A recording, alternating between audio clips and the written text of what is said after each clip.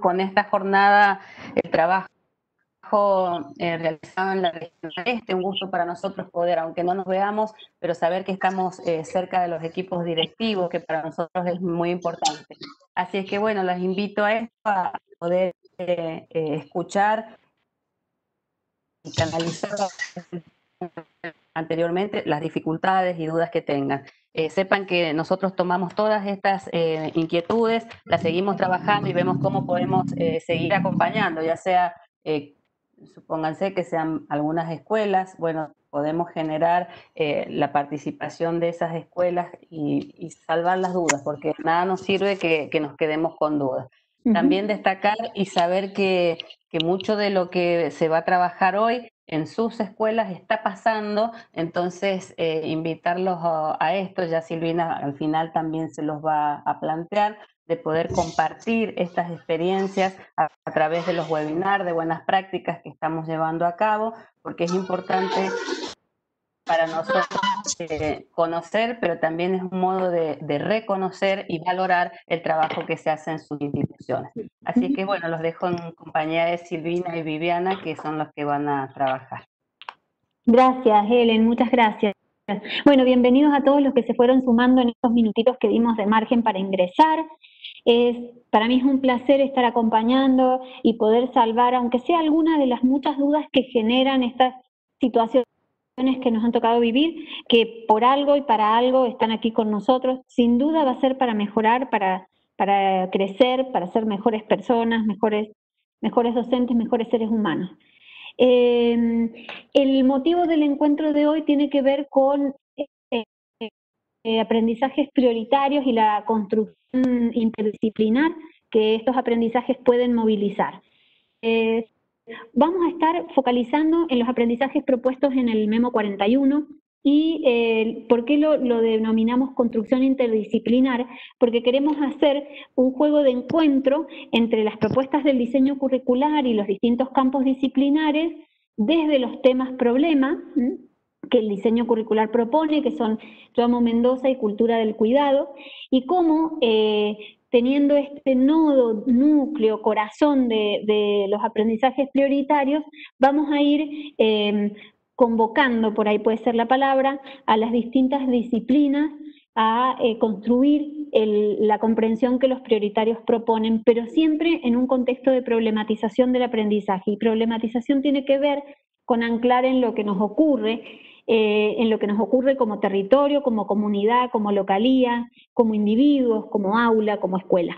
Entonces, eh, vamos a tomar un ejemplo del, tema problema que el diseño propone Yo Amo Mendoza. En este caso, Yo Amo Mendoza, podríamos también pensarlo desde cultura del cuidado y de hecho el tema que hemos elegido se presta para ambas miradas y para el juicio de, eh, perdón, para el, juego de ambos, de, de ambos problemas y lo vamos a tratar de abordar desde todas las disciplinas, pero pensando fundamentalmente o haciendo eje pivotante en los aprendizajes prioritarios del Memo 41. Em, les voy a pedir que recuerden los colores del gráfico porque vamos a volver sobre prioritarios con este círculo rosa cada vez que vaya apareciendo un cruce a lo que el memo propone y vamos a profundizar también un poquito en el sentido, eh, con algunos consejos, este trabajo de profundización con prioritarios lo hicimos en la primera mitad del año, creo que ayudó mucho porque eh, nos permitió sobre todo explayarnos en un documento que nació con una simpleza o con una intención de simpleza, eh, que tenía que ver con pensar en aquel momento, aquel, yo no digo 16 de marzo porque es cuando iniciamos la suspensión de actividades, pero eh, prioritario fue un documento que salió eh, hacia el 10-12 de mayo junto con la resolución 804 y que lo que buscaba era em, mirarnos hacia una proyección de mayor tiempo que el que habíamos pensado inicialmente cuando nos íbamos en marzo. ¿no? Al principio creíamos que esto llevaría unos días, tal vez un par de semanas, luego vimos que no, que el panorama era más complejo y fuimos entonces remirando eh, a la luz de lo que la UNESCO ya proponía en aquel momento, que era priorizar aprendizajes eh, y abocarse a lo estrictamente esencial. Lo estrictamente esencial fue una invitación que tuvimos todos, pienso como, como seres humanos, recuerden aquellos primeros días de suspensión, cómo estábamos limitados a lo esencial y lo básico, ¿no? Y, y cómo la gente buscó eh, salir a los supermercados, hacerse de mercadería para tener. Digo, detrás de, la priorización de aprendizajes está esto, esta necesidad de garantizar ciertas eh, maneras de supervivencia. Em, yo he usado en todos los webinars la, metáfora de la, de la, isla desierta y las herramientas que nos llevamos. ¿Vieron esos juegos que planteaban, bueno, si tuvieras que sobrevivir en una isla, ¿qué herramientas llevarías con vos? Una caja de fósforos, una, un martillo, una herramienta que te sirva para qué. Desde ahí creo que es posible eh, ilustrar lo que pensábamos al interior del Memo 41. ¿Qué qué son las, ¿Cuáles son las herramientas esenciales con que nos queremos ir en estas circunstancias en las que tendremos tantos tránsitos heterogéneos y diferentes de acuerdo a las realidades de los chicos, qué es lo, que debe permanecer. Y lo que debe permanecer es lo que buscamos reflejar con, el, con este memo. Expresado, les decía, en términos muy sencillos, porque hasta en algún punto creíamos que podía ser una herramienta que si, si la escuela lo disponía y tenía los, los recursos o, los, o, la manera de hacerlo, eh, podía compartir con los papás que cobraban en este entorno un, un lugar o un espacio nuevo en el aprendizaje de los chicos y poder decir, me acuerdo yo haber recibido en esa época inquietudes de papás que decían, bueno, ¿y qué es lo más importante que tienen que saber en segundo? ¿Y qué es lo más importante que tienen que saber en tercero? Y, mm, en algún punto, cuando construíamos los indicadores de prioritarios, no, no, perdíamos de vista ese lector implícito o ese lector ideal, por lo menos, que, que, que acompañara y que entendiera qué era lo importante. Lo prioritario según lo que propuso la UNESCO, y creo que el documento del Consejo Federal es bastante, mm, está bastante alineado con esta propuesta, cuando habla de eh, priorizar los modos de conocer. Priorizar los modos de conocer tiene que ver con entender qué pasa detrás del aprendizaje para que el aprendizaje ocurra. Y lo que pasa es el pensamiento y la comprensión. la comprensión entendida aquí no solo como comprensión lectora, aunque está puesto o está fuertemente vinculado a la lengua, eh, la intención de este webinar es también eh, trabajar sobre esa idea de si la comprensión es estrictamente un, mecanismo de la lengua o es el mecanismo que subyace a todos los aprendizajes y en todas las situaciones de aprendizaje que nos enfrentemos, ya sea en la vida escolar o en la vida misma. El fin último de pensar es comprender, entonces eh, lo que queríamos era despejar un poco también qué, cuál es la intención con la que se eh, construyó el documento y resignificar la comprensión a la luz de esa intención. Em, ese proceso de comprensión que decimos es el resultado de haber pensado. Yo me enfrento a una situación nueva, cualquiera sea la situación, y tengo que despejar espacios adentro de esa situación, reconocer componentes, eh, profundizar para llegar al aprendizaje de lo que me ocurre. Y el resultado entonces de ese, de ese despejar al interior del pensamiento, que, no es siempre lineal y ordenado, sino que es en simultáneo con distintos tiempos y con distintos modos, eh, el resultado de encauzar y de ordenar es que yo comprenda. Eso, eso me da el aprendizaje profundo, la comprensión, no, no la memorización de, contenidos o de conocimientos, sino el, poder cotejar, el establecer a través de esos distintos movimientos del pensamiento que Perkin define como tipos de pensamiento, el resultado de eso entonces es la comprensión. Y ese proceso de comprensión está estrechamente ligado a la construcción que hacemos de explicaciones o de interpretaciones con las que damos cuenta frente al otro, frente a nosotros mismos de haber comprendido. Eh, esas interpretaciones y esas explicaciones son mecanismos propios de la ciencia, de las matemáticas. Eh, digo, saltar un poquito esta idea de que la lengua es transversal porque me permite acceder a otras cosas. No, no, no, estamos hablando de comprensión, no solo comprensión de textos, aunque la comprensión de textos sin duda es una herramienta muy valiosa y una de las más importantes que tenemos en la escuela. ¿no? La, humanidad eh, empieza a, hacer crecer el conocimiento a partir del texto escrito. La escritura le permite eso. Entonces la comprensión de esos textos escritos es la que garantiza la continuidad en el aprendizaje, pero también ejerzo comprensión cuando me enfrento a cualquier situación de exploración y de observación y por eso hoy lo que vamos a hacer es tomar un ejemplo del área de ambiente, cultura y tecnología de tercer grado, como la propone el diseño curricular provincial, y mirar los aprendizajes prioritarios a la luz o al interior de lo que propone la ciencia, por ejemplo. Y en este sentido, eh, insisto en que eh, es muy afín eh, este documento de prioritarios con lo que está proponiendo el Consejo Federal en, su, en el anexo número uno, cuando habla de que la ciencia debe ser experiencial, debe ser una experiencia exploratoria de observación y que al interior de esa experiencia entrar a hacer jugar los procesos de comprensión y de construcción de explicaciones o de interpretaciones, que es lo que acá este, yo les comparto como tipos de pensamientos que son esenciales para comprender.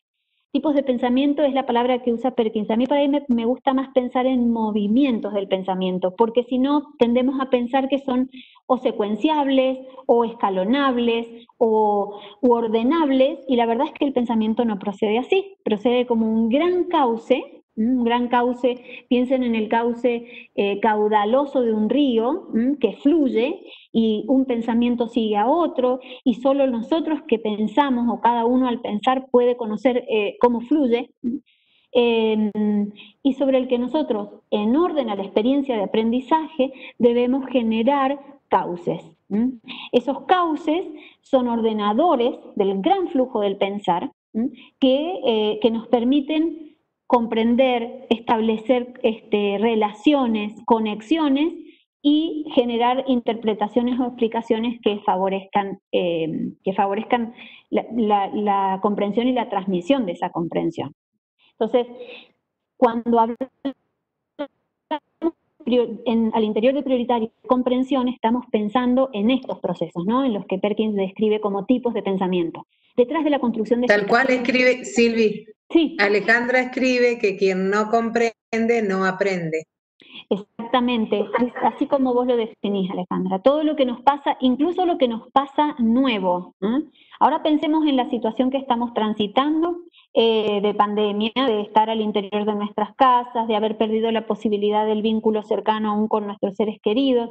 Eh, comprender, ubicar todas esas situaciones que para nosotros son nuevas Establecer conexiones con experiencias anteriores o con experiencias por venir es haber aprendido de esta situación. Eh, todo lo nuevo va a demandar esa observación, esa construcción de, explicaciones y establecer conexiones. Lo que hacemos a través de prioritarios, lo que buscamos a través de prioritarios, es encauzar, generar, para ese desborde enorme que es el pensamiento, generar cauces.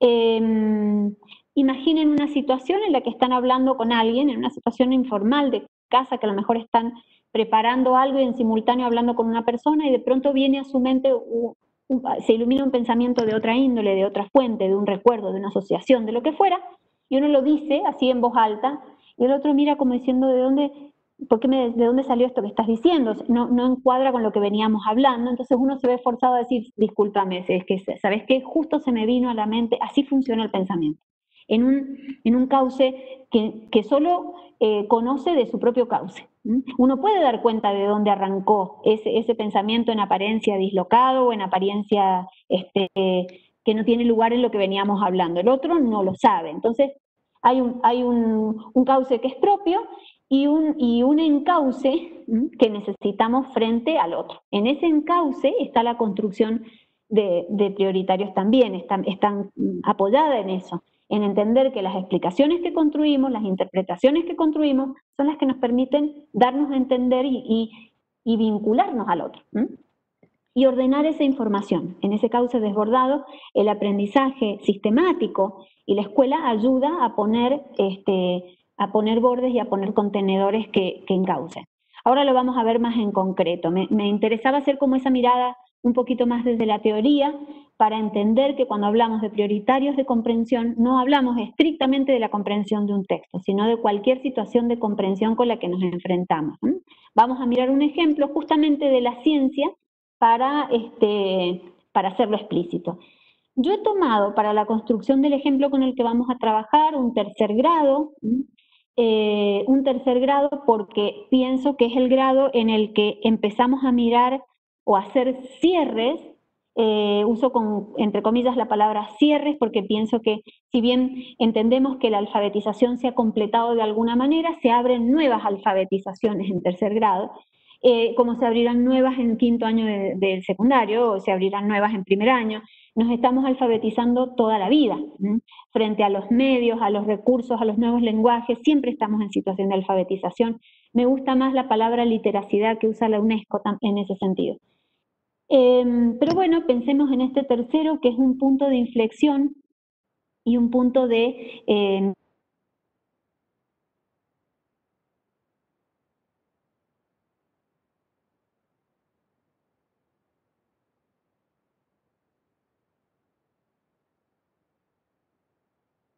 servir para, como dice el documento del Consejo Federal, como voy a hacer hincapié, un fuerte hincapié en, los modos de aprender.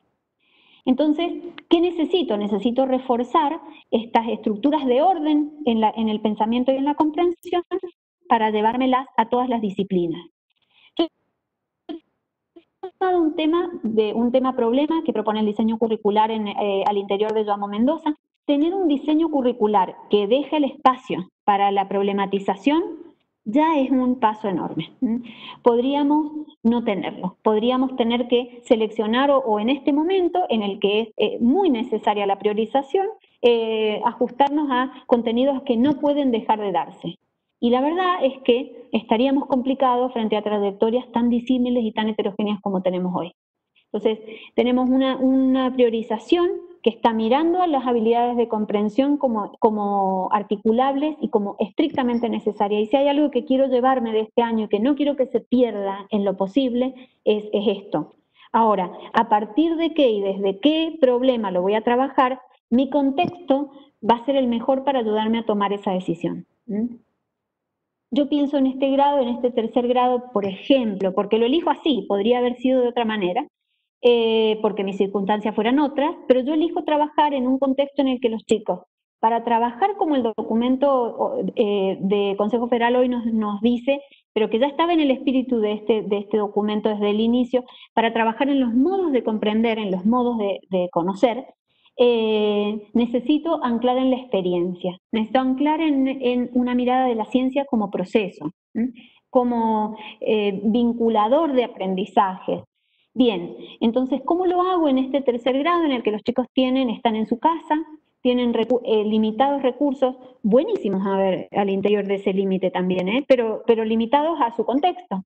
Entonces quiero trabajar con eh, el, tema de, que propone Joamo Mendoza del reconocimiento de estructuras adaptativas en la flora de Mendoza. Bueno, este contexto favorece eso, porque los chicos al salir al patio de su casa pueden encontrar un espacio de exploración de plantas propias de Mendoza. No sería lo mismo si yo estuviera en un tercer grado en chicos que viven en pleno centro de la ciudad, que no tienen posibilidad de salir y de hacer esa exploración, que yo en la presencialidad hubiera ofrecido en el aula, hubiera favorecido en el aula, pero que hoy tengo que pedirles que usen su entorno. Entonces, tomo ese entorno problematizador, me planteo una pregunta guía, como si estuviese llevando adelante un proyecto en ABP, o un aprendizaje basado en proyectos, aunque no lo esté llevando a cabo exactamente de la misma manera que lo haría en la presencialidad. Si retengo, porque creo en la metodología y retengo los, los elementos, lo que llamamos elementos esenciales de ABP, ¿Cuáles son los elementos esenciales? El cuestionamiento genuino, un cuestionamiento que, nace de los chicos y que responde a su propio interés porque me estoy ganando el componente de atención, de interés, que hoy es tan o más importante que, que otros factores que antes estaban sobrevaluados. Eh, esta semana leía a un pedagogo catalán que hablaba de la atención como el nuevo eh, IQ, ¿no? como el nuevo eh, coeficiente intelectual, con la sobrevaloración que tuvo por muchas, muchas décadas el coeficiente intelectual, hoy creo que la sobrevaloración se va instalando de a poco en la capacidad de atención de nuestros chicos y mucho más en este contexto. Entonces, sostengo y retengo uno de esos cinco elementos fundamentales de ABP, que es el cuestionamiento genuino. El segundo que voy a sostener es el de la crítica y reflexión permanente. Yo puedo no terminar, digamos, no, no, llevar adelante el proyecto tal como el proyecto lo plantea, em, digamos, con un, con un producto público del que toda la comunidad participa, que beneficia al otro, que como llamo comunidad aula, comunidad barrio, escuela, institución, como sea. Pero si, si sostengo el, espíritu de cuestionamiento y el interés de los chicos en ese cuestionamiento, estoy eh, garantizando un piso muy fuerte para cuando volvamos a la presencialidad. Y aun cuando nunca terminemos de, de implementar ABP, miren lo que les digo, si yo sostengo cuestionamiento, sostengo eh, la capacidad de hacer ciencia. Ahí veía un comentario al pasar en el chat que tiene que ver con el método científico y en realidad es el cuestionamiento permanente el que ha permitido el desarrollo científico que hoy tenemos. Y vamos a mirar un poco a eso entendiendo la ciencia como proceso. Ahora vamos a llegar ahí. Entonces, frente a esa pregunta que yo planteo, casi les diría en términos en los que lo plantearía un chico, ¿Qué, digamos, ¿qué, puede preguntarse un niño de tercer grado? Esta pregunta es construida, yo no estoy hoy en el aula para, para armarla, pero si es una pregunta que retiene esas características. ¿Qué se preguntaría un chico de tercer grado en torno a las plantas que puede ver? Y hay plantas que mi mamá plantó y que están creciendo porque las riego todos los días o porque veo que las riegan y hay otras que no las que a lo mejor eh, crecen en, cerca de la sequía, las que crecen en un lugar donde nadie las puso y nadie las cuida. Entonces, ¿cuáles son esas plantas de mi alrededor y cuáles son en particular aquellas que, aquellas que nadie cuida o nadie atiende y que se cuidan o se atienden a sí mismas, pareciera, para poder sobrevivir? Vamos entonces a hacer girar todas las disciplinas, ojalá este gráfico fuera animado, y me, me permitiera hacer girar esa rueda celeste con todas las disciplinas en torno a esta pregunta y en torno o usando como eje pivotante los aprendizajes prioritarios. Porque si yo uso como eje pivotante los prioritarios, eh, entiendo que mi, mi objetivo número uno es encauzar el pensamiento y las habilidades al interior o los, momentos al interior del pensamiento para que el aprendizaje y la comprensión ocurran. Por eso me parece que si lo entendemos desde esa lógica, el Memo 41 puede haber llegado para quedarse y para ayudarnos mucho en una de las, de las preguntas que suelen recurrir al interior de ABP, que es, ¿qué enseño yo? O sea, ¿cómo busco? ¿Cómo selecciono lo que tengo que enseñar en el marco de ABP? Esta pregunta en los talleres solía solía aparecer. ¿Y qué sé, cómo sé lo que es importante y lo que no puedo descuidar? Porque hay veces que los proyectos de los chicos tienen, toman un vuelo que ni yo mismo esperaba que iba a tomar.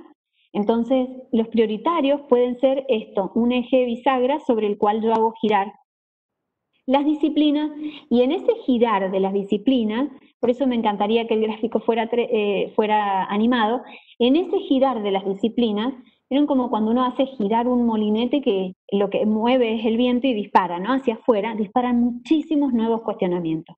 Entonces, genera como un círculo virtuoso de, permanente cuestionamiento en el aula, que es lo que yo mencionaba como uno de los, de los requisitos de ABP.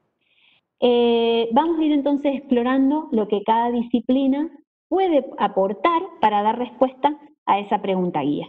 Pero antes de eso me voy a parar en el eje pivotante y voy a mirar los aprendizajes del Memo 41 nuevamente y a la luz del el proceso de comprensión.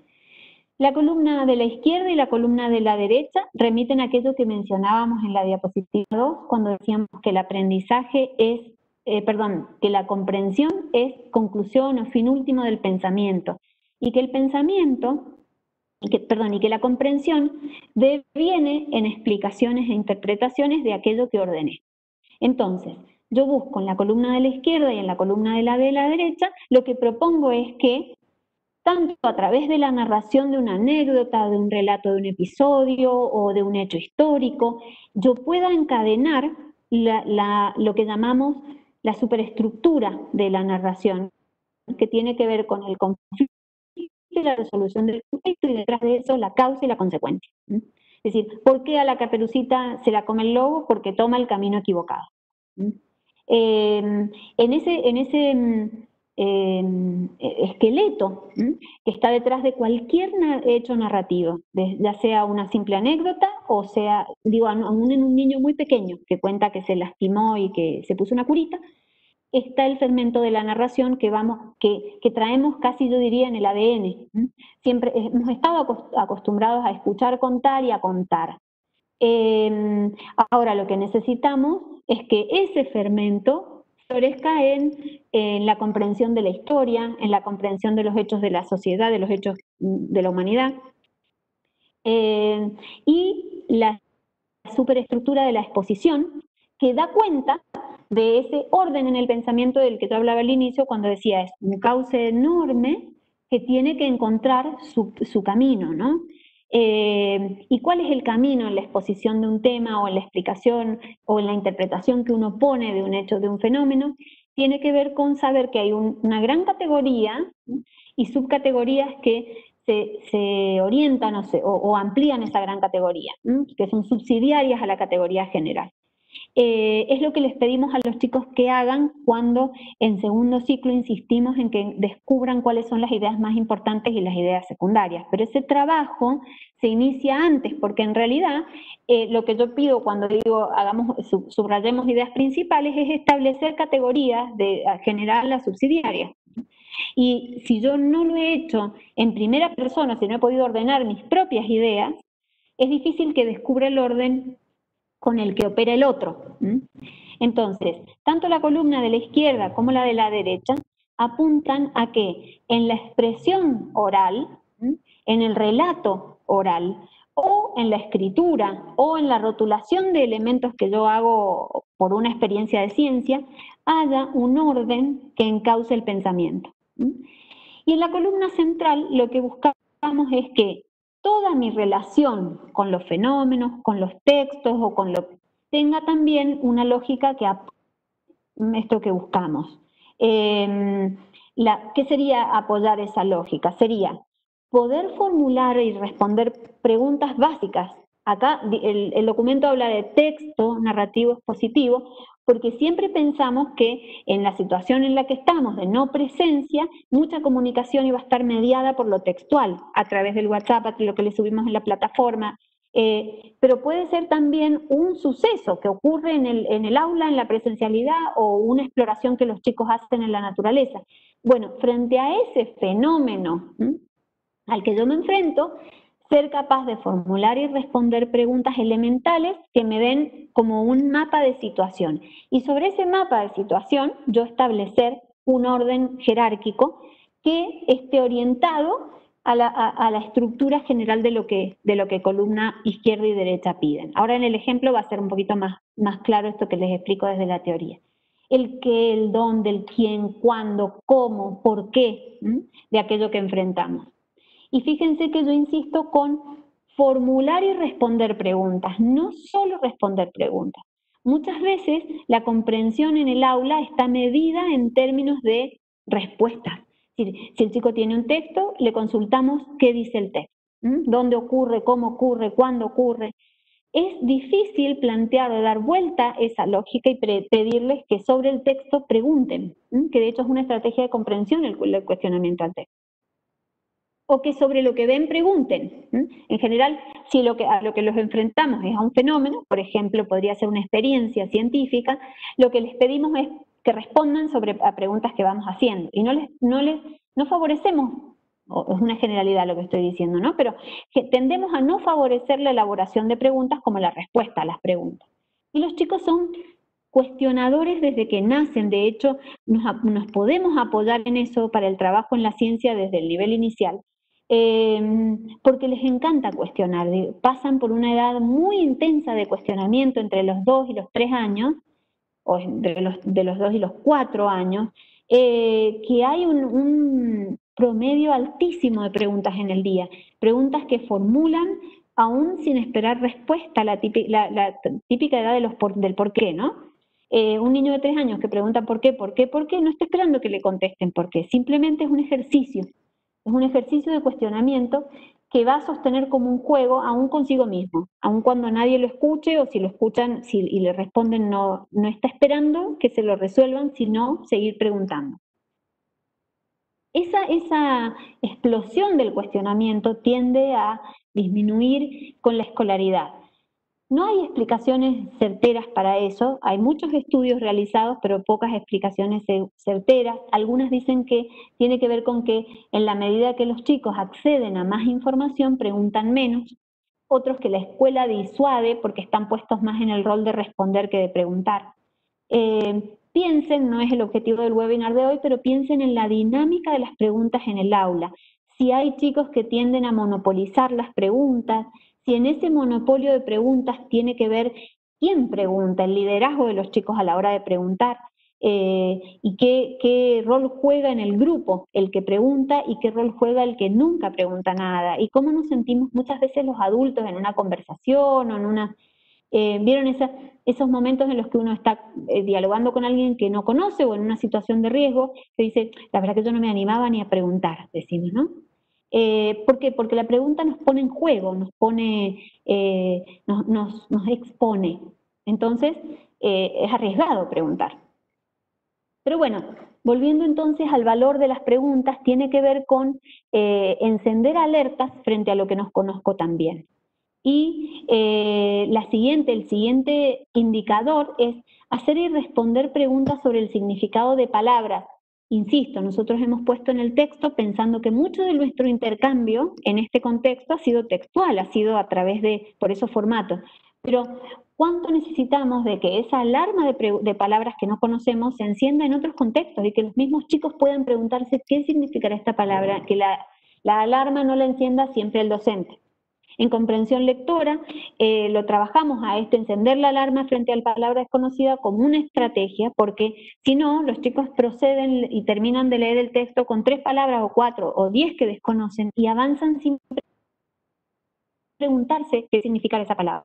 O asignan un sentido determinado y avanzan con ese sentido, con esa construcción, que puede terminar en interpretaciones que son aberrantes, pero ellos no se preguntan porque justamente no van habilitando de manera permanente el cuestionamiento frente a lo léxico, frente a su propia interpretación. Los siguientes dos indicadores tienen que ver con este cauce del que hablábamos, con ir poniéndole em, las piedritas al río, al lecho caudaloso, para que vaya por el camino que necesitamos que vaya. En el primer caso, con la narración, que insisto, la narración es el fermento de la causa y consecuencia.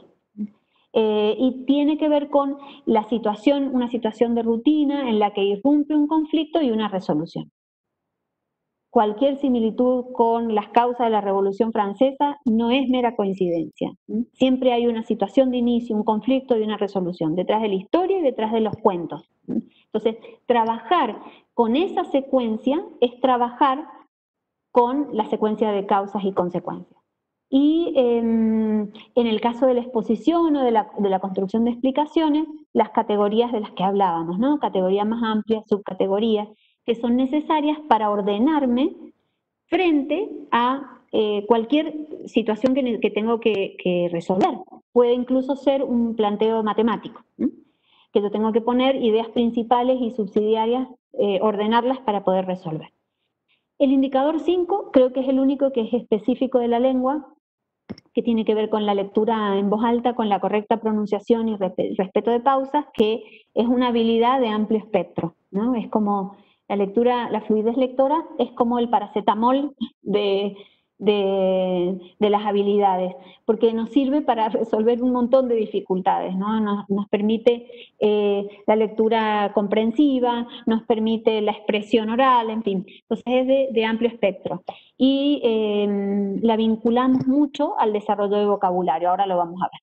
Entonces, así con este repaso general por el Memo 41, luego Vivi va a hacer el repaso por matemática cuando hagamos el planteo desde las actividades propuestas de la disciplina, vamos a retomar nuestra pregunta guía, aquella de las plantas que crecen sin que nadie aparentemente las conozca, eh, las cuide, las atienda, las asista. Em, miremos entonces la ciencia como proceso. Eso nos propone el documento del Consejo Federal. Adhiero completamente a que esa mirada tiene que ser, pero no solo en pandemia, siempre la ciencia debe ser proceso. Por mucho tiempo la ciencia ha sido producto en el aula. Nos, interesa que los chicos conozcan los productos de la ciencia. Eh, el por qué, por qué el agua hierve a 100 grados centígrados, que ya está descubierto. Ahora, miremos cómo es que se llegó a descubrir eso, cómo se descubrió el ADN, cómo se descubrió, y con proceso. ¿Qué implica el proceso de la ciencia? Implica observar, implica describir o clasificar a partir de lo que observo, establecer comparaciones, formular preguntas investigables sobre lo que, lo que observamos y nos intriga, construir hipótesis y planificar experiencias sacar conclusiones y esas eh, conclusiones transformarlas en texto o en conclusiones, que, en explicaciones, perdón, que sean eh, compartibles con la sociedad toda. Ese es el proceso de la ciencia y ese es el proceso que buscamos repetir en el aula cuando decimos que el enfoque debe ser de la experiencia. ¿Cómo se cruzan los prioritarios del Memo 41 con esto? En, lo que vemos acá a la izquierda, la exploración, el registro y la organización de la información. Esas son las habilidades que el Memo propone en los dos aprendizajes, en los mm, indicadores 3 y 4 que veíamos arriba y en los de columna izquierda y columna derecha. Organización de la información, exploración y registro. Em, tomemos el ejemplo de las plantas, de las plantas que nuestros chicos pudieron en su contexto y en su entorno explorar y acceder y explorar. Esa observación tiene que tener un andamio, tiene que tener otra vez el cauce. Todos los chicos son buenos observadores. Miren un niño pequeño con un juguete, em, no un juguete comprado, un juguete raro. Estas cosas que los chicos agarran y con lo que se pueden pasar horas jugando y nosotros decimos al final le compré ese juguete hermoso y se entretuvo con la caja. Bueno, o con el envase, o con el... Em, en esa observación, observen al observador, ¿no? Eh, se detienen, dan vuelta, giran, se llevan a la boca, tuercen, prueban, ensayan. Son buenos observadores. Los chicos muchas veces nos sorprenden con imitaciones de los adultos que solo sacaron, ¿de dónde sacó esto? Y lo observó en alguien y lo reprodujo, lo reprodujo exactamente como lo había visto. Eh, pero necesitamos ordenar esa observación para que tenga una vía de salida. Eh, esa, esa vía de salida también me va a permitir a mí, diga, cuando yo me ordeno para observar, voy a ir encontrando patrones comunes. La ciencia no es otra cosa que esto, la observación, el descubrimiento de patrones y el análisis de esos patrones que nos va a llevar a hipótesis y, a, refutar o, no esa hipótesis. Em, ¿Cómo puedo acompañar la observación? Dijimos, son buenos observadores, necesitan cauce, que eh, garantizarnos que frente a esas plantas que encuentran sean capaces de observar con todos los sentidos, que su vía de acceso, y de registrar lo que observaron pero para ese registro necesitan rótulos. Los rótulos son palabras que probablemente no tengan o que sean de su vocabulario desconocido o, del pasivo y no lo puedan utilizar. Entonces yo acompaño con un banco de palabras que, que, van a andamiar eso que observamos. Si yo noto que la hoja no es suave, al tocarla, puedo, tengo el rótulo para decir no es, que no es suave, es decir, tengo el rótulo rugoso abajo. Si noto que Em, que el tallo parece como si fuera madera o, un tronco, tengo la palabra leñoso que me permite describirlo y también lo invito a observar, que en esa observación utilice herramientas que le ayuden a favorecerla. Por ejemplo, le pedimos que mida, que después lo vamos a retomar desde el área de matemática. Este banco de palabras lo que hace es agregar un acervo de ideas que faciliten la salida de lo que observó. Decimos, el chico nace observando, es un cuidadoso observador. Ahora, ¿puede contarme lo que observó? Si no tiene las palabras, va, a estar complicado. Entonces yo le ayudo entregándole esas palabras o poniéndoselas en un banco por si las necesita.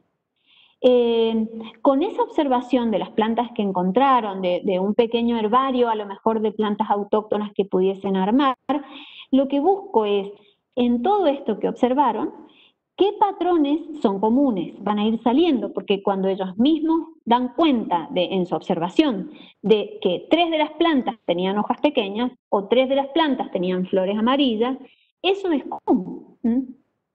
¿Y por qué habrá sido que eran pequeñas? ¿Y por qué habrán sido las flores de color amarillo? Y ahí empiezan a dispararse los mecanismos de adaptación a los que quiero llevar a los chicos. Por supuesto que yo ampliaría el concepto de adaptación, no tenemos un contexto mejor, yo creo, para explicar lo que significa adaptarnos que el que estamos viviendo hoy, y, y, cómo las plantas han recurrido a esos mecanismos, a esos barbijos, entre comillas, para poder cuidarse. Eh, se adaptaron a eso. ¿Y cómo se adaptan? Bueno, con las flores amarillas, que fíjate, todas tienen por esto, todas tienen hojas pequeñas por esto, y así voy llegando a ese concepto. Ahora, vuelvo al circulito de prioritarios que aparece acá de nuevo. ¿Cómo es que llegan a, cómo es que vinculamos esto con prioritarios? Y porque prioritarios me hablaba de, la, breves textos en los que yo tenía que saber em, ordenar la información de acuerdo a la exposición, a, la superestructura típica de la exposición, que es una categoría general y categoría subsidiaria, porque tengo que registrar a través de ciertas palabras sobre las que puedo encender el cuestionamiento de, desconocido conocido, que me ayudan en la descripción, y esas descripciones son necesarias para los patrones comunes. Entonces ya en el rotulado, yo tengo que empezar, en el rotulado de mis plantas, tengo que obedecer cierta, cierta guía, ordenar mi pensamiento, no es una observación casual como haría en el banco de una plaza solamente, sino que tiene, tiene un fin. Y el fin es el la comprensión y el aprendizaje. Entonces, en algún momento voy a llegar a un texto ordenado en el que yo muestre un modelo de, de, esa jerarquización y de esa categoría y subcategoría que le propongo para ordenar su propio pensamiento. Este, por ejemplo, es un texto sobre una planta, sobre la pichana, que tiene un texto discontinuo, que lo que buscamos acá es entregar distintas piezas de información que, retengan las características de lo que hemos venido hablando. El banco de palabras, eh, la, la, continuidad de la observación, fíjense que tiene el mismo iconito de la nariz que teníamos en el cuadro de observación. ¿Para qué? Para aportar datos aleatorios, pero que permiten seguir investigando. Vamos a tomar el párrafo de arriba, ¿no? el párrafo central de este texto. Ese párrafo está dividido en cinco oraciones, aproximadamente cinco o seis oraciones, que respetan esa estructura de una idea general e ideas subsidiarias que amplían esa idea general. La primera, las primeras dos oraciones me presentan la planta. Es una planta autóctona, xerófila, vive en el desierto, se adapta a vivir con poca agua. Esa sería la categoría general. Ahora, esta planta, la pichana, tiene categorías o atributos que yo quisiera eh, compartir, porque de esa manera amplío la información. Y digo entonces cómo son sus hojas, cómo son sus flores y qué usos tiene, que se la usaba para limpiar y que se usaba para, podía utilizarse para hacer escobas. Entonces, en este breve texto estoy sintetizando el gran objetivo de producción y de comprensión que tiene el tercer grado, que tiene que ver con la posibilidad de respetar categorías y subcategorías en la simpleza de una oración, una oración para cada una, que me da un párrafo, pero que mañana esta misma superestructura me la puedo llevar si quiero a una monografía en la facultad. Lo que cambia es la complejidad y la extensión que doy a cada detalle. Ahora lo vamos a mirar en el organizador gráfico. los paratextos del texto están puestos en función de el texto. La escoba es un gráfico de lo que de, para qué se utiliza la planta. Pero a su vez está vinculada a una nueva pieza de información que es que estas, estas escobas dice que desprenden un olor que, eh, mm, que, ahuyenta las pulgas en los perros. Entonces el perro dice, la verdad que me hace falta una escoba de pichana. Bien, son piezas informativas diferentes y, me permiten, este perro pensando que le hace falta una escoba de pichana, me permite la inferencia. ¿Qué, ¿Por qué puede estar diciendo esto? Eh, y porque tiene pulgas, entonces como dicen que establece, eh, el perro no dice tengo pulgas, lo vemos rascarse, entonces me permite la inferencia, si yo quisiera hacer como distintas capas en la comprensión del texto. Em, el trabajo que yo proponga desde lo textual, digamos, este texto yo lo podría trabajar desde la ciencia, en el orden de la información en el, quiero, en el que quiero que los chicos encaucen su observación, y puedo también desde la lengua pensar en qué preguntas le haría, en qué, cómo cambiaría los paratextos, en fin, podría abordarlo desde la lengua. Pero en este momento a mí me interesa la superestructura, que es, lo que me viene acompañando o lo que me viene proponiendo prioritario. Entonces, el organizador gráfico va a darme o va a permitirme visualizar el esqueleto de ese, de ese párrafo. La categoría general de la que hablábamos al principio y las subcategorías que amplían esa categoría general y em, usamos el, el, organizador del sanguchito que es siempre mientras más detalles tiene, más rico es. Mientras menos detalles, más pobre o insulso va a ser. Ahora, de cada una de las ideas en ese organizador gráfico, yo en un tercer grado voy a esperar el desarrollo en una oración. Y el resultado será un párrafo de cuatro o cinco oraciones. En un cuarto grado podría utilizar este mismo organizador gráfico, incluso con las mismas ideas, incluso con la pichana, pero pedir un desarrollo mayor que una sola oración. Entonces, el detalle 2, en lugar de flores y frutos, en lugar de ser en verano tiene flores de color amarillo con un olor muy fuerte, esperaría que los chicos escriban, eh, florece entre septiembre y marzo. Sus flores son de color amarillo eh, con el centro con dos estambres. Eh, tiene tienen un olor muy, muy fuerte que ahuyenta a los herbívoros que intentan comer. Entonces, es un párrafo más apropiado para un alumno de quinto grado, pero no deja de, de respetar la misma estructura que el párrafo de tercero, porque lo que estamos buscando es organizar la información, más allá de la complejidad con la que, yo pueda hacerlo. Podría tener hasta un texto escrito por un chico de cuarto año de secundaria eh, en biología, siguiendo esa misma superestructura. Y las preguntas que le formulamos al texto o a las que debemos responder es el qué, el qué que siempre orienta o remite a la categoría general, el cómo y el por qué. Lo que yo voy planteando con estas herramientas son maneras o modos de abordaje que deben quedar en el aula para trabajar siempre, no solamente en este contexto, ¿no? sino siempre. ¿Qué favorezco de permanencia? El cuestionamiento permanente, el cuestionamiento que deviene en superestructura, eh, la superestructura que deviene en oralidad y así. Esta misma superestructura es la que yo puedo usar para trabajar con las plantas o les voy a pedir a los chicos que utilicen como esqueleto de conducción para sus propias plantas, para las que ellos van a presentar, la jarilla, por ejemplo. Que me cuenten de qué se trata, qué planta es, y pueden usar las mismas oraciones. Digo, no, no necesitamos modificar mucho, sino entender que reponemos información nueva con un esqueleto similar, que en verano tiene flores de color amarillo, que sus hojas son pequeñas, que son pegajosas, porque de esa manera no pierden agua, y que los, aborígenes la usaban para teñir de color amarillo. Es decir, es un, texto en paralelo.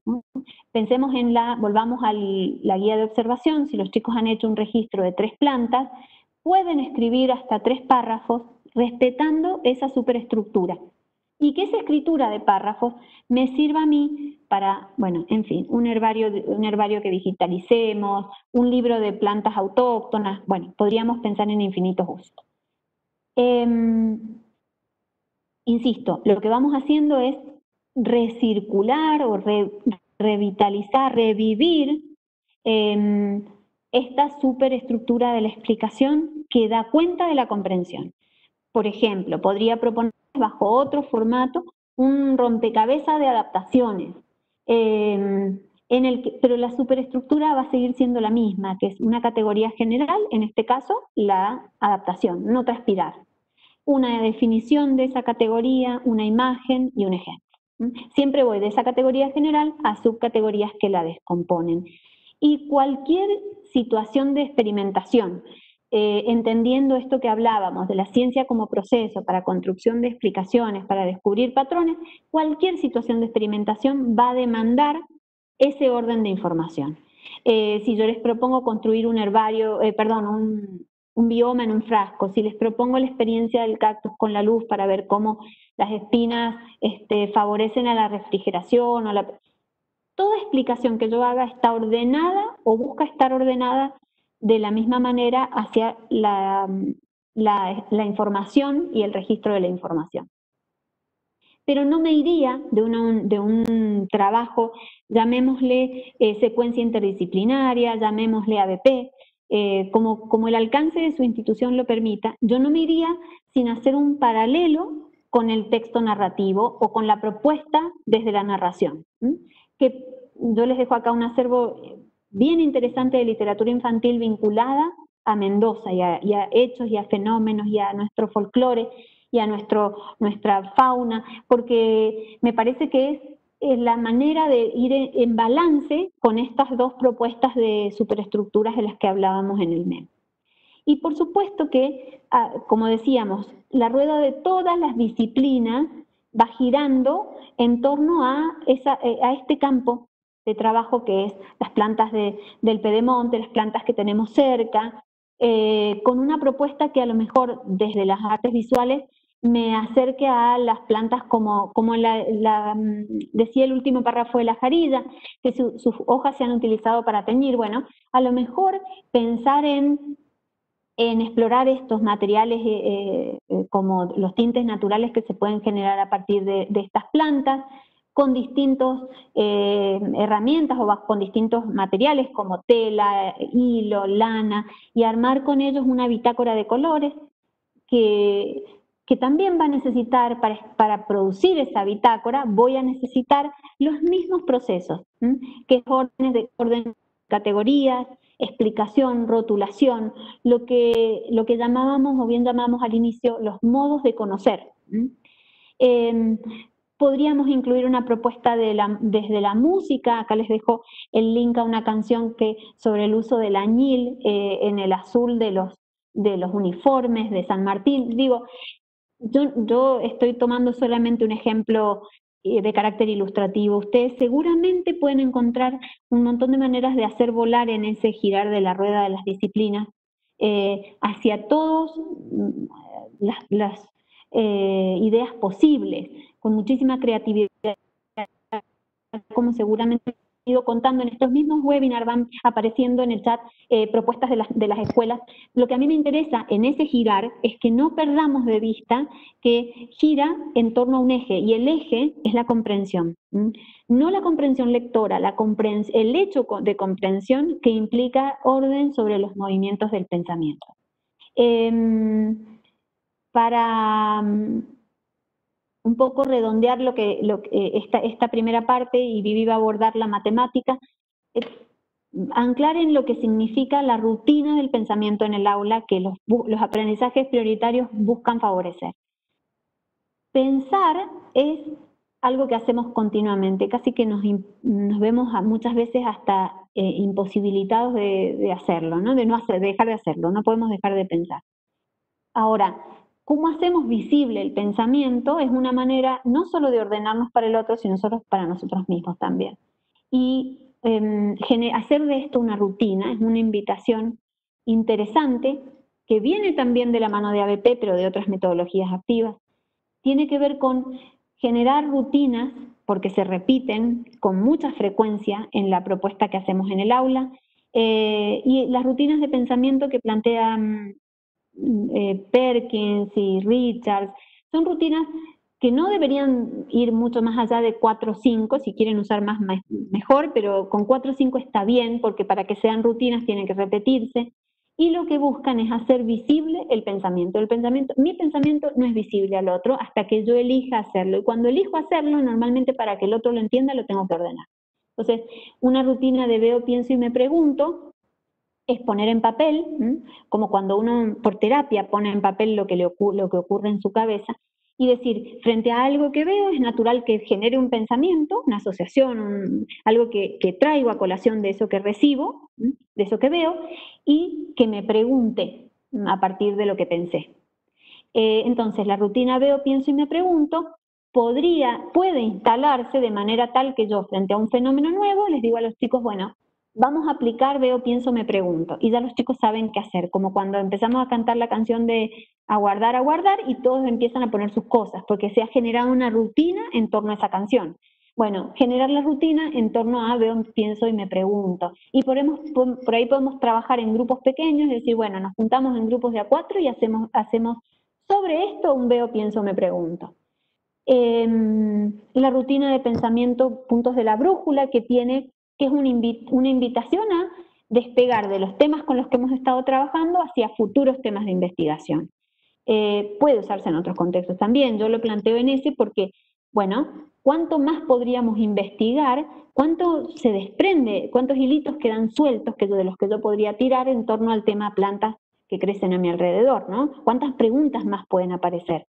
Y esta rutina invita a preguntarse desde ahí. toma los puntos cardinales y dice, bueno, a ver, la N es de necesito más información, la E de entusiasmo, la O de obstáculo o preocupación y la S de sugerencia. ¿Qué necesito más? ¿Qué necesito saber? ¿Mm? ¿Qué, información más puedo aportar sobre esto? Entusiasmo, ¿qué me gustó de lo que investigué? Eh, obstáculo, que me preocupa de este tema. Eh, y sugerencia, que sugiero o qué opino para continuar es, un buen, digo, las preguntas, cuando uno vuelve, se vuelve atento al cuestionamiento en el aula, no está nada mal, es una buenísima idea, un buen, buen recurso generar un muro de preguntas, eh, un, espacio físico donde esas preguntas vayan quedando y que sirven para nuevas investigaciones. Entonces, las rutinas puntos de la brújula aporta esas nuevas preguntas y de ahí pueden eh, surgir nuevos proyectos. Em, le voy a dar paso a Vivi entonces para que ella, desde la matemática y desde los prioritarios de matemática, nos, eh, nos brinde la conexión con lo que veníamos trabajando respecto a plantas autóctonas. Bueno, buenas tardes. Bueno, podemos empezar a pensar cómo en este entramado aparecen los aprendizajes prioritarios de matemáticas. Generalmente uno trata de hacer eh, relaciones con la estadística, con gráficos. Sin embargo, aparte de eso, hay muchos otros aprendizajes que podemos involucrar en estos eh, proyectos. En este caso, pensábamos en trabajar con algunas cuestiones que tienen que ver con la medida y que pueden surgir para dar respuestas a los interrogantes que se plantearon o bien para organizar alguna información que se quiere brindar pensamos en, podríamos pensar en el herbario y rotular las plantas y también poner eh, cuál es la longitud de, estas, eh, de estas muestras que sean, que sean, que te tienen los chicos, o bien también podríamos ordenar algunas plantas como las que están allí en la imagen, y el chico podría hacerlo por medición directa, es decir, poniendo una al lado de la otra y viendo cuál es más baja, cuál es más alta que la otra, ubicándolas entre, o también podría hacer una medición indirecta. Y para esta medición indirecta podría usar o un, eh, cualquier elemento, alguno que no sea convencional, por ejemplo, una goma, un lápiz, un fósforo, o podría necesitar para dar más precisión sobre estas características de los objetos, la utilización de una regla de un metro, de un centímetro. Em, podrían aparecer también la necesidad, que el centímetro es escaso, entonces necesita usar algo pequeño para medir y aparece el, milímetro, y empiezan a surgir algunas relaciones entre estas unidades de medida. Un metro son 100 metros, un centímetro son 10 milímetros. Podría aparecer también la multiplicación por 10, por 100. Em, el ordenar estas, estas longitudes de las plantas podrían, aparecen entonces cuestiones relacionadas con los números y el sistema de numeración, eh, en la comparación entre ellas, qué veo en los números para saber cuál es más grande que otro y de allí poder ordenar las plantas. Y lo importante es que vea que use cual luce de, las unidades o, o los instrumentos que use para medirlo, siempre va a quedar el mismo ordenamiento. Em, fíjense ustedes que aparecen nociones ya sobre la proporcionalidad y las equivalencias de, eh, de las unidades se van a profundizar en años siguientes. No, no es necesario que aparezca, por ejemplo, acá el decímetro, porque el chico no lo ve y tampoco lo utiliza. Lo importante es ver que estas cuestiones surgen de los usos cotidianos y para dar respuesta algunas preguntas que se han planteado en, este tema. Eh, también podríamos pensar en algunos otros análisis, eh, si pasamos a la, siguiente, ¿Sí? a la siguiente diapositiva, ahí está. Bien, podríamos pensar también en algunas situaciones que se presenten eh, en el caso que digamos, bueno, necesitamos hacer almacenes. Y estos almácigos se pueden hacer en cubeteras, en maples de huevo, eh, podríamos hacerlos en las bandejas de almácigos, eh, podríamos utilizar eh, todas estas cuestiones y aparecerían nociones de la multiplicación. En este caso que involucran todo lo que es organizaciones rectangulares, es decir, aquellas organizaciones que puedo contar por filas y columnas. También puede ser que en esto aparezcan cálculos, eh, que los chicos eh, utilicen algunos distintos procedimientos para llegar a ellos, por ejemplo, la suma reiterada o productos memorizados. Eh, puede ser que aparezca también el completamiento de algunas tablas que nos van a dar pie para trabajar series proporcionales. Bueno, hay infinidad de cosas que los chicos y los maestros pueden aprovechar de estas situaciones. Lo importante es que el, docente pueda ver que puedan, eh, niños también, que puedan utilizar eh, algunos saberes ya adquiridos, pero también estas, estos eh, aportes pueden ser necesarios para iniciar procesos de aprendizaje que luego van a ser formalizados en las situaciones de, propias de la disciplina. Y por esto podríamos trabajar, ¿no es cierto?, en este proyecto que presentó Silvina. Si querés, Silvina, podríamos pasar al de quinto grado. Ahí estamos en el de quinto grado. El de quinto grado no vamos a desarrollarlo con la amplitud que hemos desarrollado el de tercero, pero sí nos gustaba la idea de dejarles un ejemplo que tuviese que ver nuevamente con la pregunta guía disparadora, ¿para qué sirven los árboles de mi ciudad? La pensando en un contexto urbano en el que los chicos el acceso que tienen a, vegetación sea a partir de los árboles de, su barrio, de su, de su entorno cercano, y entonces nos, nos, encamináramos hacia la valoración del trabajo que implica el arbolado público, del mantenimiento, el valor cultural del árbol, la historia de estos árboles en la ciudad, y cómo podríamos desde, este, desde la matemática también generar propuestas que buscando dar respuesta a ese interrogante em, nos llevaran al, al, abordaje de los prioritarios. Bien, ahí nosotros estamos, estábamos pensando también en trabajar eh, esta disposición de nuestra ciudad en Damero, eh, que es pensar en qué es una organización Damero, qué se caracteriza, en este caso las calles están dispuestas tal que forman ángulos rectos. Entonces quedan conformadas superficies de forma rectangular, que en nuestro caso es un, son cuadradas. Pensar también a lo mejor eh, cuál es la relación que existe en el trazado de estas calles con el trazado de los canales y acequias, si tienen la misma disposición. Podríamos trabajar las relaciones que hay entre acequias y árbol, eh, pensamos también en, esta zona de las cinco plazas, eh, decir, ¿por qué esquivista cuatro plazas de una central? ¿Será que tendrá que ver algo con lo que ocurrió en 1861 con el terremoto? Podríamos también eh, trabajar otras, otras cuestiones, como por ejemplo la noción de hectárea. Si una manzana tiene las cuadras tienen 100 metros, bueno, para calcular el área de, la superficie de una manzana tendré que hacer 100 metros por 100 metros y eso equivale a una hectárea.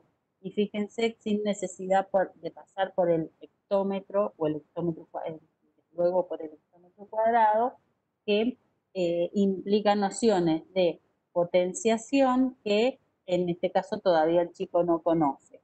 Podríamos hacer estimaciones, podríamos trabajar con, eh, exploratoriamente en torno a estos planos, con el Google Maps o con fotografías satelitales, ubicar eh, y comunicar posiciones de algunos lugares, podríamos describir, organizar recorridos, eh, podríamos también hallar equivalencias entre distintos recorridos, habré recorrido más, menos, eh, bueno, algunas otras cuestiones que tienen que ver con los mapas, por qué las calles cambian de nombre, cómo se representan las calles, todas iguales, las avenidas se representan de una manera, los accesos de otro, o las rutas nacionales o las provinciales.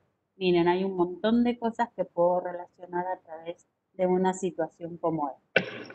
También podríamos pensar en las zonas rurales y pensar que los chicos pueden estimar la cantidad de árboles eh, plantados en una zona de, la, de una finca, también a partir de las organizaciones rectangulares y también podrían surgir otras cuestiones relacionadas con la división y sus distintos significados como son el reparto y la partición. O sea que lo que es importante acá ver es que la matemática eh, surge como necesidad para dar respuesta a algunas preguntas que se formulan y siempre a partir del uso.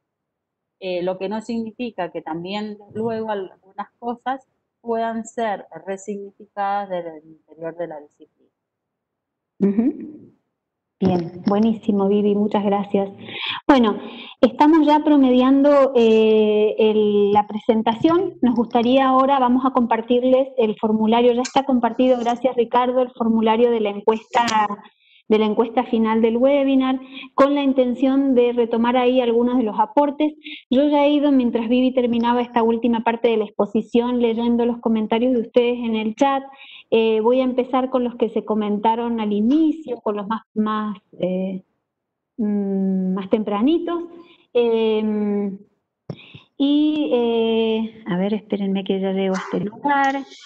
Silvia, hay uno que dice, Alejandra, plantea que la centralidad estará entonces en las propuestas áulicas que generen estas preguntas áulicas y que generen estas preguntas.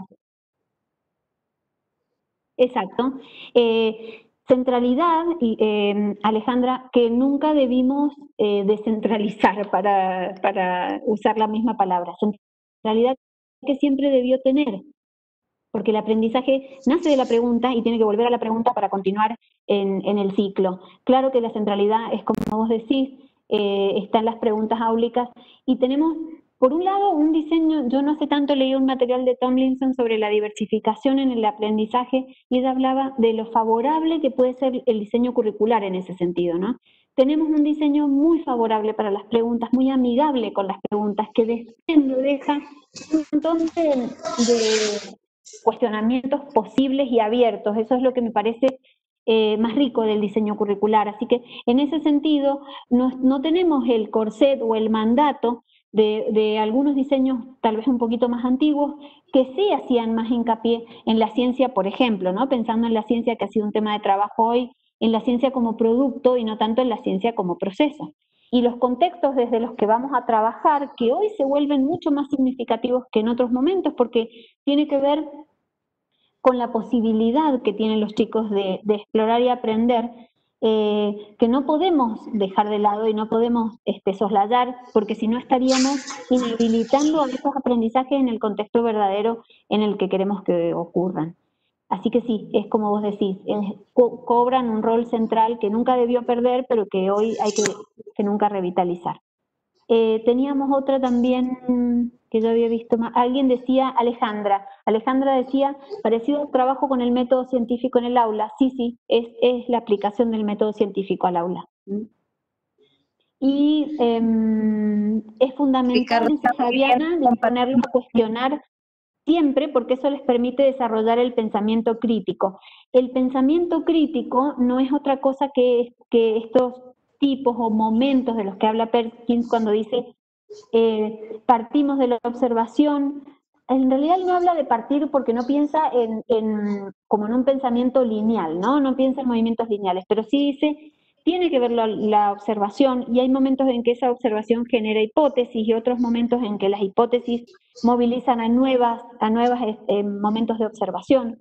Entonces, sí que estamos desarrollando el pensamiento crítico cuando nos detenemos a mirar el pensamiento. Y las rutinas que hemos compartido no, son, no solo este, favorecen el pensamiento crítico, sino favorecen el metapensamiento, ¿no? que es cómo pensamos nuestro pensar de todos los días. Descubrirnos pensando nos ayuda muchísimo a, digamos, es metacognitivo, es entender qué hacemos para comprender de la manera que comprendemos. Silvi, eh, a los panelistas nos mandaron una consulta de los aprendizajes prioritarios de los otros espacios curriculares, que bueno, si amplias eh, de que es desde el diseño. Sí, eh, bueno, en realidad el objetivo de este webinar em, tal vez em, mm, tuvimos o, inició un poquito más tarde porque lo mencionábamos al inicio, pero vale la pena repetirlo de aquí. al inicio del webinar hablábamos de que el diseño curricular Voy a volver a ese gráfico para que tal vez nos quedemos con esto. En la propuesta del diseño curricular lo que nos facilita es la problematización en el círculo externo, en el círculo amarillo. Y luego las diferentes disciplinas estarán puestas en función de dar respuesta a esos cuestionamientos. Lo que no podemos descuidar son los mecanismos vinculados a la comprensión y a la expresión de nuestras propias explicaciones e interpretaciones como consecuencia de esa comprensión.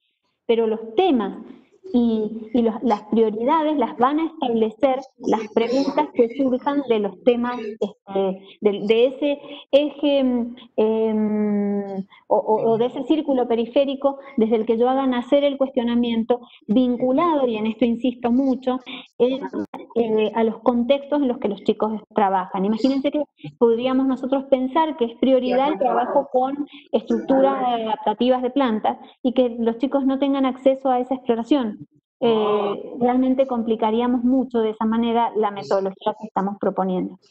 Sí, eso viene de la mano con el aporte que hace Alejandra, que plantea que el desafío es reinventarse en estos contextos, ya que la familia, hoy nuestras parejas pedagógicas, no generan estos espacios para la pregunta. Es real que hoy la familia es nuestra pareja pedagógica y es real que el valor de la pregunta eh, o que la pregunta necesita ser revalorizada en todos los contextos, eh, que necesitamos, digo, si tuviésemos que, si yo tuviese que pensar en un espacio curricular al interior de, la, de, los que ya tenemos, al interior de, nuestra, de nuestro diario o nuestro cotidiano transitar del aula, no dudaría en, pensar en el espacio curricular el cuestionamiento, porque enseñar a preguntar es un desafío. Eh, en el mes de mayo yo tuve la posibilidad de hacer un curso muy interesante sobre eh, el cuestionamiento en el aula y eh, me sorprendió que los asistentes al curso venían de, distintos este, campos del saber, de distintos niveles, desde universidades hasta eh, gestión cultural, y todos buscaban este, esto, ¿no? Volver a, mirar el rol de las preguntas en los diferentes espacios, incluso en la universidad. Eh, creo que es el gran cambio que, la, que, puede hacer a una innovación seria en el aula, el volver a pensar en la pregunta como el eje principal. O sea, sí coincido, Alejandra, con lo que decís. Eh, no lo genera por ahí la familia, pero tampoco lo invita, eh, en general lo invita la, la cotidianidad a los chicos. No tenemos, no tenemos eh, eh, propuestas culturales que inviten a cuestionar. Eso, eso tal vez es un desafío que tenemos social, ¿no? más lo de lo que pensamos en el aula. Sí, em, hacer una aclaración, Silvi, que en la respuesta 5 de, del formulario, la idea es que eh, soliciten temas o, recursos que, que, crean conveniente que los abordemos para la, planificación áulica, para la planificación de los docentes, eh, porque en un momento se, habló de dispositivos y en realidad se hablaba de dispositivos como recurso, como herramienta. ¿sí? Claro. Sí, sí, sí. Eh, ahí sí, todo lo que nos puedan solicitar o poner, son cuestiones que vamos a tener en cuenta para, para esta etapa que Para temáticas, para, para, jornadas de trabajo docente. Em, aprovecho la oportunidad mientras ustedes van completando el formulario para contarles que, para quienes no lo han visto, hemos hecho bastante em, difusión, pero por ahí eh, no llegó a todos, de los ciclos de webinars eh, que se han diversificado bastante en esta segunda mitad del año. Tenemos un ciclo de buenas prácticas al que les invitamos a todos a compartir y a participar. Eh, se trata de un espacio de, de compartir, de construcción reflexiva y colectiva sobre buenas prácticas en pandemia. Nadie transitó, pasó por lo que estamos pasando hoy antes como para contarnos cómo fue. Entonces, como estamos haciendo camino al andar en muchos sentidos, el andar de todos es valioso y, sumamente rico. Entonces, los invitamos a que nos acerquen propuestas para compartir ese ciclo es para ustedes. Eh, es una manera también de, reconocer a nuestros docentes en su labor, eh, en, la difusión de lo que ocurre en el aula, que generalmente es muy bueno y queda ahí. y por otro lado, un ciclo sobre el diseño curricular, que bueno, está, eh, tuvo sus primeros pasitos ya en la primera mitad del año, pero que en esta segunda va a, intensificarse para conocer mejor eh, nuestro diseño, que tiene infinitas posibilidades de exploración y, que requiere por ahí de, múltiples recorridos. Creo que vamos a hacer muchos recorridos y vamos a poder seguir descubriendo otros muchos por andar todavía, pero, em, pero la, la propuesta de ese ciclo de webinar es conocerlos mejor. Así que bueno, estaríamos terminando, no hay preguntas, no sé si Marta, vos desde los panelistas, ¿te, llegó alguna otra? No tenés audio, Martita. Estaba con estaban agradeciendo lo que me ha llegado a mí privado también, estaban agradeciendo Silvina, siempre tan clara, tan profundas tus reflexiones. También agradecen el hecho de, Viviana, eh, matemática, este, la profundidad con la que se ha trabajado, también esta articulación que estamos haciendo desde el diseño curricular. Así es que, este, una vez más, Silvina, nosotros de la Dirección de Primaria, agradecerte este trabajo que vos has sumado y que tan, con tanta solidaridad y con tanto compromiso estás realizando y compartiendo en toda la provincia porque estamos recorriendo todo el departamento. Así que un cariño enorme. muchas gracias. Muchas gracias a ustedes. Ahí leo el aporte de Marita, que lo quiero recuperar antes de que antes de cerrar, porque em, eh, con Marita hemos charlado muchas veces de la articulación de la música con, otras, otros campos disciplinares y ella cuenta acá que a partir de la comprensión desde la música realizamos estas preguntas, ¿no? Y que tenemos un orden jerárquico en la escucha. Claro, porque son maneras eh, de conocer y modos de abordar y esas conexiones que vamos estableciendo y la música, vaya si es un campo que nos permite conexiones, eh, es tan favorable. Entonces, cuando, vamos, cuando descubrimos el sustrato común, la interdisciplina que planteábamos como un objetivo, se transforma en la manera, en el aire que respiramos. Así que yo siempre pongo, y lo vengo haciendo desde febrero, que nos juntamos a charlar con los supervisores de áreas artísticas, que el valor que tienen las áreas artísticas en la, para, para eh, contagiarnos a las demás disciplinas de, la conexión, del vínculo, del vínculo entre los componentes de las, de las disciplinas. Así que siempre, siempre vamos a estar aprendiendo de ustedes en ese sentido. Ahí está también acompañamiento en matemática, así que bueno, lo vamos a tener en cuenta también.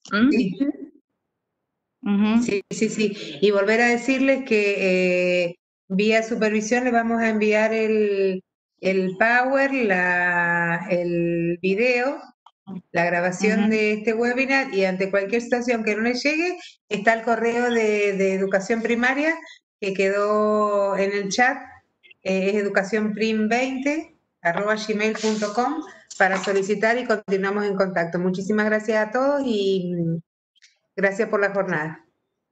Gracias. Feliz semana, feliz semana maestro. Y feliz semana del maestro también. Feliz semana del maestro que lo disfruten, que lo pasen lo mejor posible. Hasta luego.